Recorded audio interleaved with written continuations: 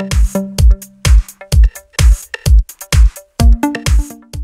I have HTC Ultra and let me show you how to enable developer options on the following device. So at the very beginning let's start by using the home screen. Let's tap apps icon right here, find and select the settings.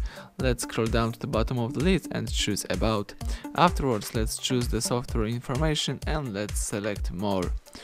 Here you have to tap a couple of times on build number, let me do it. And as you can see you are now a developer. So you can go back to the previous list right here. Let's go back again to the settings. And in the settings list under printing you should find developer options. Let's tap it. Let's tap ok to enable developer options. And right now you can use all you can use all the features from the following list for example you can enable usb debugging right here tap OK and read this information.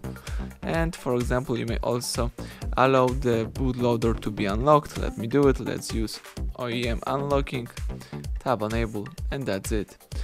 So thank you for watching. Please subscribe our channel, leave thumbs up under the video.